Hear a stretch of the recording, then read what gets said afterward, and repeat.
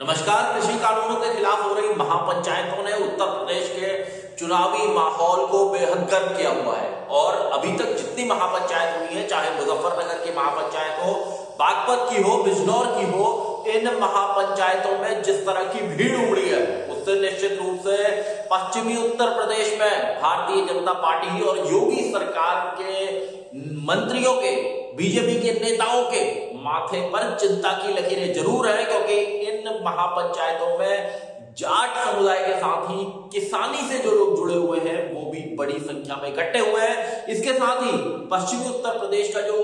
जाट मुस्लिम combination जिसकी वजह से आरएनडी राष्ट्रीय लोकदल, को लंबे वक्त तक जीत मिलती रही, वो इक्वेशन पिछले साल से पिछले कुछ सालों से टूटी हुई थी। लेकिन इन किसान आंदोलनों में, किसान आंदोलन में, किसान महापंचायतों में ये समीकरण फिर से एकजुट होता दिख रहा है। इस पर मैं बात करूँगा और ये भी बात होगी कि शामली में जो आज महापंचायत होनी है, उस महापंचायत के लिए प्रशासन ने अनुमति नहीं दी है। प्रशासन ने कुछ कारणों को गिनाया है। इसके बारे में बात करूँगा। आप देख रहे हैं सत्य हिंदी डॉट कॉम। अपील मेरी आपसे वही है कि कॉर्पोरेट मीडिया के मुकाबले आज़ाद पत्रकारिता का समर्थन करें। सत्य हिंदी की सदस्यता योजना में शामिल हो, आर्थिक भुगतान का लिंक हमने डिस्क्रिप्शन में दिया हुआ है।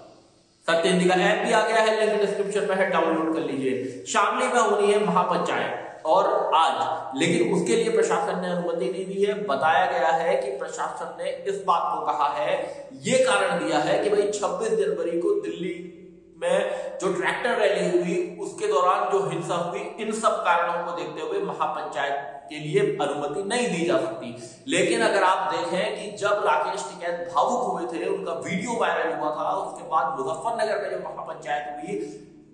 या बागपत की महापंचायत को देख ले, बिजनौर की महापंचायत को देख ले, इन सभी जगहों पर अच्छी खासी भीड़ जुटी थी। और निश्चित रूप से उस भीड़ ने, जैसा मैंने कहा कि सियासी समीकरणों को बदलने का काम किया है। 2013 के जो मुजफ्फरनगर राइट्स थे, मुजफ्फरनगर में जो सांप्रदायिक दंगे हुए थे, उसके बाद से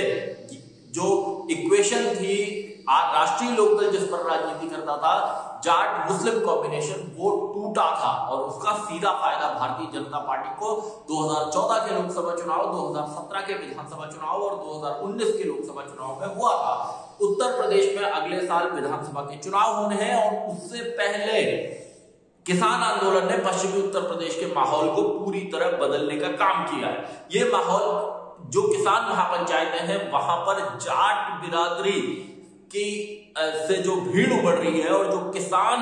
यूनियनों से जुड़े हुए लोग हैं और मुस्लिम तबके की जो भागीदारी है, उससे समझ में आता है कि निश्चित रूप से पश्चिमी उत्तर प्रदेश में सियासी हवा बदल रही है। और शामली में जो आज महापंचायत होनी थी, अगर प्रशासन उसकी अनुमति नहीं दे रहा है, कारण बताता है कि भाई 26 जनवरी को ट्रैक्टर रैली के दौरान हिंसा हुई तो निश्चित रूप से ये एक सियासी कारण भी हो सकता है कि महापंचायतों ने जिस तरह पूरे पश्चिम उत्तर प्रदेश का माहौल बदलने का काम किया है। उससे आगे भी अगर आप जाएँ तो उत्तराखंड के हरिद्वार ज़िले के मैंगलोर में वहाँ भी किसान महापंचायत हुई है और उस महापंचायत में भी पश्चिमी उत्तर प्रदेश से और उत्तर प्रदेश के रामपुर, बिलासपुर और तराई के इलाकों से बड़ी संख्या में लोग पहुँचे थे। काफ़ी भीड़ वहाँ पर हुई थी। तो ये जो मैसेज है पश्चिमी उत्तर प्रदेश का, ये हरिद्वार और उत्तराखंड के उधम सिंह नगर तक जा रहा है। और उत्तर प्रदेश और उत्तराखंड में भारतीय जनता पार्टी की सरकार है और इन जगहों पर अगले एक साल के भीतर विधानसभा के चुनाव होने हैं। ऐसे हालात में जब राष्ट्रीय लोकदल एक बार फिर से खुद को एकजुट कर रहा है, क्योंकि 2013 के राइट्स के बाद, दंगों के बाद आरएलडी हाशिए पर है। चौधरी अजीत सिंह और जयंत चौधरी लगातार चुनाव हार चुके हैं। ऐसे में आरएलडी के पास भी, राष्ट्रीय लोकदल के पास भी ये मौका है। जिस मौके पर वो अपनी सियासी ताकत को, अपनी खोई हुई राजनीतिक ताकत को हासिल कर सकते हैं और भारतीय किसान यूनियन के साथ मिलकर आरएनडी का जो कॉम्बिनेशन इन दिनों दिख रहा है, क्योंकि इन तमाम जगहों पर जो महापंचायत हुई है, बिजनौर की, बागपत की, मुजफ्फरनगर की, यहाँ पर जयंत चौधरी भी पहुँचे हैं और जयंत चौधरी चौधरी चरण सिंह की विरासत को संभाल रहे हैं और हाथरस में जब जयंत चौधरी गए थे और वहाँ पर जब उन पर लाठी चार्ज हुआ था तो उसके बाद भी जो महापंचायत हुई थी, उसमें जाट बिरादरी के तमाम लोग उमड़े थे और एक महापंचायत में नरेश टिकैत, जो महेंद्र सिंह टिकैत के बेटे हैं, राकेश टिकैत के भाई हैं, भारतीय किसान यूनियन के राष्ट्रीय अध्यक्ष हैं उनका ये कहना कि जयंत चौधरी चौधरी अजीत सिंह को हराना एक भूल थी तो उससे मैसेज ये जाता है कि कहीं ना कहीं भारतीय किसान यूनियन राष्ट्रीय लोकदल इनमें जो नेता हैं जो किसान राजनीति भी करते हैं जाट राजनीति भी करते हैं उनके उन, वो फिर से इकट्ठा हो रहे हैं और निश्चित रूप से अगर ये समीकरण बदलता है और इसमें मुस्लिमों की भी भागीदारी जिस तरह देखने को मिल रही है, वो राष्ट्रीय लोकदल के लिए अपनी खोई हुई राजनीतिक ताकत को हासिल करने का एक अच्छा कारण हो सकता है, मौका है और निश्चित रूप से भारतीय जनता पार्टी के लिए मुश्किल खड़ी होगी। समाजवादी पार्टी और राष्ट्रीय लोकदल का गठबंधन है, इसलिए पश्चिमी उत्तर प्रदेश में ये कॉम्बिनेशन अच्छा काम कर सकता है और अखिलेश भी लगातार इस कॉम्बिनेशन को, क्योंकि हमने देखा था कि कैराना में जो बाई इलेक्शन हुआ था उपचुनाव हुआ था, उसमें समाजवादी पार्टी और राष्ट्रीय लोकदल ने मिलकर चुनाव लड़ा था और फतेह हासिल की थी। तो वो एक जो प्रयोग था, वो पश्चिमी उत्तर प्रदेश में माना गया कि इस तरह के प्रयोग आगे सफल हो सकते हैं। और हमने ये भी देखा कि ये महापंचायतों का जो दौर है, वो यहाँ से निकलकर जींद में, राजस्थान में, उत्तराखंड में यहाँ भी महापंचायतें होने लगी होने लगी है। पंजाब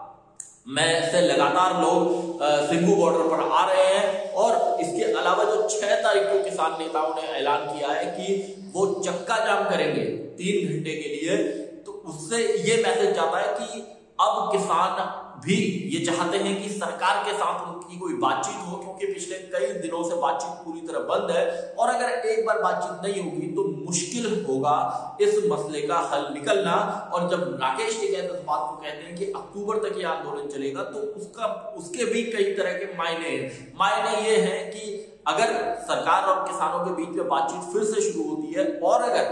सरकार कृषि कानूनों के मसले पर पीछे हट जाती है, इनको रद्द कर लेती है, किसानों की मांग मान लेती है तो क्या एमएसपी को लेकर जो गारंटी है, कानून बनाने की मांग है, उस मांग तक किसान बैठे रहेंगे? और अगर तब तक किसान बैठे रहेंगे दिल्ली के बॉर्डर्स पर तो किस तरह के हालात बनेंगे? सरकार के सामने बहुत बड़ी चुनौती है कि सरकार इस चुनौती से कैसे निपटेगी? तो शामली की जो महापंचायत है, जिसके लिए अनुमति नहीं दी गई प्रशासन के द्वारा, और राष्ट्रीय लोकदल का यह कहना है कि वो भारतीय किसान यूनियन के साथ मिलकर पूरे पश्चिमी उत्तर प्रदेश में इस तरह की कई पंचायतों का आयोजन करेगा। और शामली की जो का जो जिला प्रशासन है, उसने तीन अप्रैल तक धारा एक लागू कर दी है। मतलब कि आप ज़्यादा लोग इकट्ठे नहीं हो सकते पंचायतें और बैठकों का आयोजन नहीं कर सकते। तो इसको लेकर निश्चित रूप से सवाल ये खड़ा होता है कि क्या महापंचायतों की में जो भीड़ उमड़ रही है, किसान महापंचायतों में, जैसा हमने जीत में भी देखा तो ये जो वेस्टर्न यूपी, हरियाणा, राजस्थान और पंजाब की बेल्ट है, यहाँ जिस तरह का आंदोलन खड़ा हो गया है तो क्या निश्चित रूप से उससे सरकार के सामने परेशानी है, सरकार के सामने मुश्किल खड़ी हो रही है, क्योंकि हम देख रहे हैं कि हरियाणा के अंदर भी अच्छा खासा उबाल कृषि कानूनों के खिलाफ है। बड़ी संख्या में हरियाणा से लोग आकर आंदोलन में भागीदारी कर रहे हैं और टिकरी बॉर्डर पर इनकी ज़्यादा संख्या है हरियाणा के लोगों की और वेस्टर्न यूपी से लगातार लोग वेस्टर्न यूपी के तमाम इलाकों से गाजीपुर बॉर्डर पर आकर राकेश टिकैत के समर्थन में खड़े हो रहे कृषि कानूनों के खिलाफ खड़े हो रहे तो ऐसे में सरकार के सामने चुनौती भी है और सरकार क्या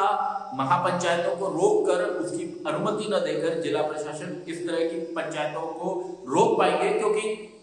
आरएलडी और बीकेयू भारतीय किसान यूनियन का कहना है कि वो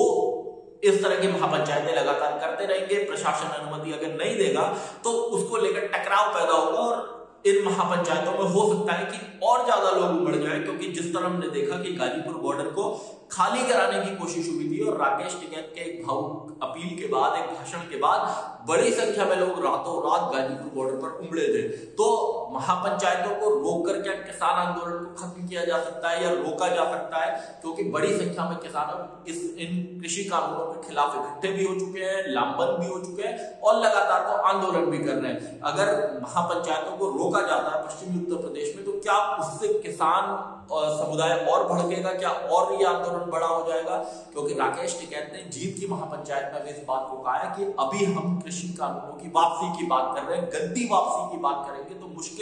होगी, ऐसे में निश्चित रूप से एक संदेश भी केंद्र सरकार के लिए है कि आंदोलन जिस तरह से बढ़ रहा है, ऐसे में सरकार किसानों की मांगों को मान ले। तो देखना होगा कि पश्चिमी उत्तर प्रदेश में प्रशासन, योगी सरकार क्या